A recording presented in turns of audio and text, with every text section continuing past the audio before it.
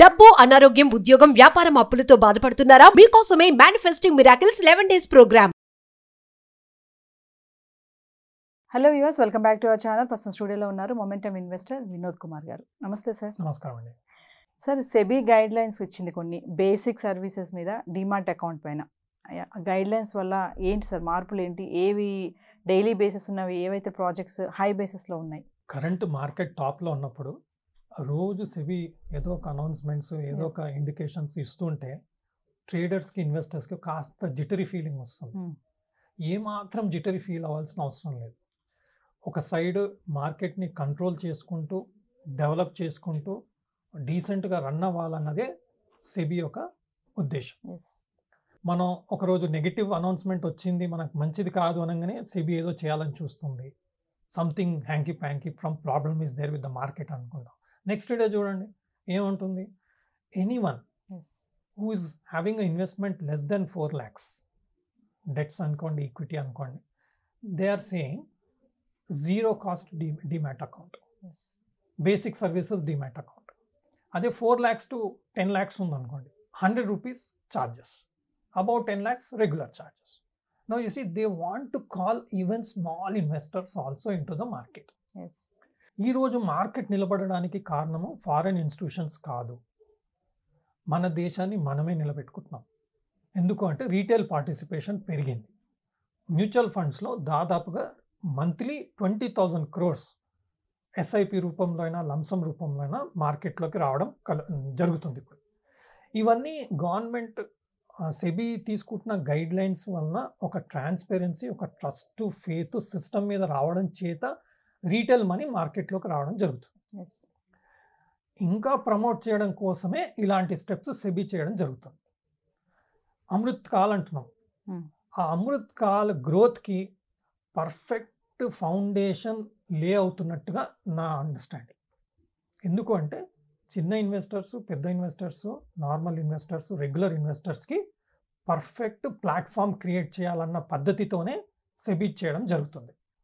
So I see this as a very very welcome step ఎందుకు అంటే ఇప్పుడు market అనేది only traders only operators only HNIs వీళ్ళదే market ఎవరిది కాదు అన్నట్టుగా ఉంది.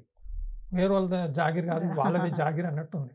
బట్ ఈరోజు చూడండి వాళ్ళ దానికన్నా ఎక్కువ retail participation small investor participation కూడా పెద్ద కారణంగా జరిగింది. ముందు ముందుకి ఇంకా జరగబోతుంది.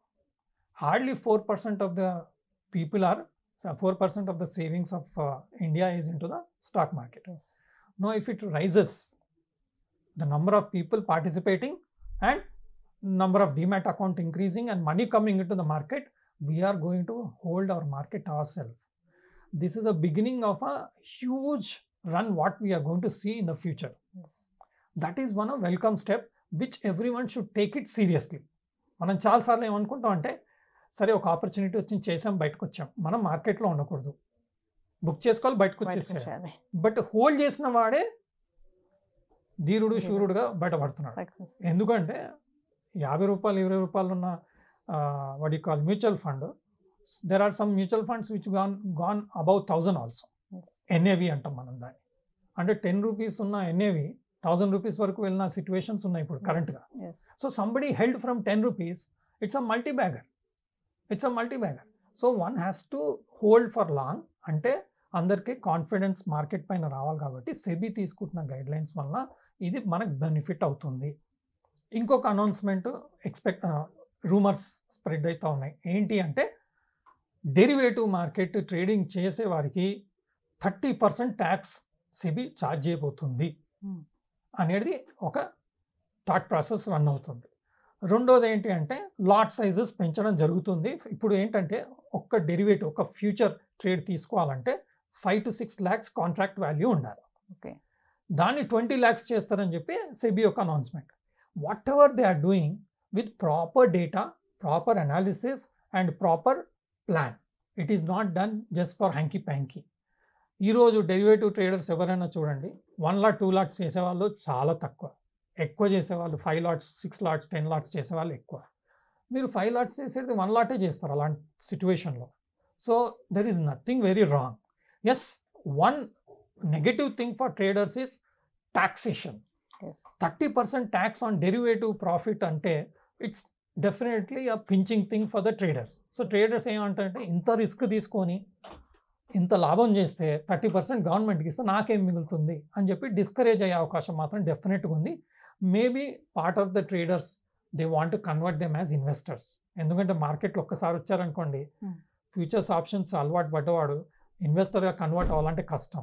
ఎప్పుడైతే రిస్క్ ట్యాక్స్లు ఎక్కువ చూస్తున్నాడో maybe will convert in mutual funds or investor అని చెప్పేసి అభిప్రాయం ఉండొచ్చు అని నా understanding let us see how it is going but market is getting getting into limelight this is the time when people should not think anything they should definitely think all these are in positive direction short term మనం ఉన్న పరిస్థితిలో మనకు negative ఉండొచ్చు but long టర్మ్లో అది డెఫినెట్గా positive don't think twice think positive think plan properly me risk ఎప్పటైట్లో మీ పరిధిలో మీరు ఏ ఆప్షన్ సెలెక్ట్ చేసుకుంటారో మీ. కంఫర్ట్ని బట్టి మీరు సెలెక్ట్ చేసుకోండి. మ్యూచువల్ ఫండ్ రూటా డెరివేటివ్ రూటా ఇన్వెస్టర్ రూటా ఇంట్రాడే రూటా మీరు సెలెక్ట్ చేసుకోండి. But be in the market because the future is going to be bright for all the investors and traders because of the steps everyone are taking even budget is coming up బడ్జెట్లో కూడా ఎన్నో అనౌన్స్మెంట్లు వస్తుంది.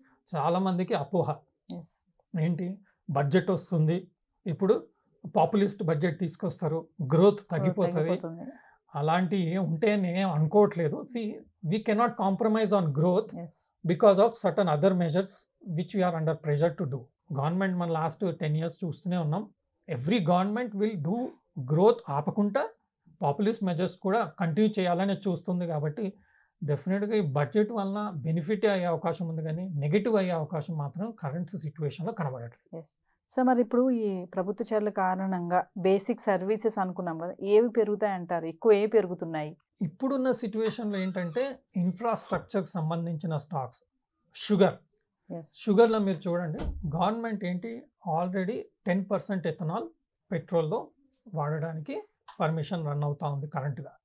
నా two thousand twenty ఫైవ్లో ethanol twenty పర్సెంట్కి shift చేయాలన్న ఆలోచనతో ఉంది. సో దీనివల్ల ఏమవుతుందంటే ఒకటి ఎన్విరాన్మెంట్. రెండు కాస్ట్. మూడు ఎథనాల్ ఇండస్ట్రీ. Sugar industry. ఆ రీజన్ చేతనే మనకు షుగర్ స్టాక్స్ అన్నీ లాస్ట్ గత రెండు decades almost fifteen twenty years నుంచి ఏదైతే లాసెస్లో ఉన్నాయో they are now converting into profitability because of ethanol factor also. Okay. దీనివల్ల ఏమవుతుంది?